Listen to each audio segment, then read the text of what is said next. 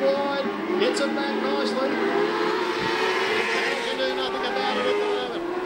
The nerves will be going through this kid like you wouldn't believe. He's just got to try and keep that thing on the best possible racing line.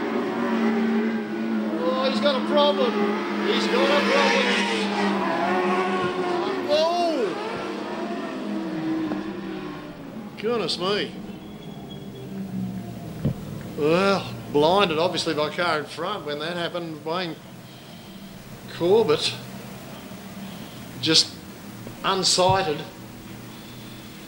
One car peeled off very, very late, and of course, right in front of him was uh, the slowing rapidly Bodie Smith car. He's out, folks. Round of applause for Wayne Corbett.